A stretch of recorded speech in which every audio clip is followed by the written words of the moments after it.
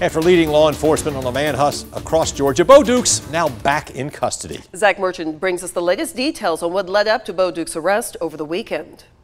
Yeah, law enforcement sources say the past few days have been long ones, but in the end, things worked out just about as well as they possibly could have. According to the Warner Robins Police Department, Bo Dukes allegedly assaulted two women and raped one of them in Bonaire Tuesday, and by Wednesday, the hunt for him was truly on. Wednesday, uh, January the 2nd, a bolo on Bo Dukes uh, went out statewide.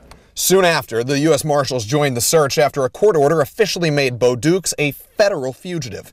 In all, U.S. Marshals Southeast Regional Fugitive Task Force Chief Inspector John Edgar said more than half a dozen local, state, and federal agencies were all involved in the search. Ben Hill County Sheriff Lee Cone's office was one of them, and he said the public helped deputies close in on Dukes. We did receive a tip that Bo Dukes was in the area and also confirmed it at that time. That tip came on Saturday afternoon, and soon after, a confidential informant shared more information about Dukes. He's come to saying that he wanted to turn himself in at the time. Later Saturday, Dukes was spotted at a family member's house the law enforcement had been watching, and authorities took Dukes into custody without incident. This is actually what we call a good day, and uh, when no one's hurt, when taking somebody into custody that's wanted. And I truly, from all my heart, it's a blessing sent down from God Himself that it took, that it actually played out like it did.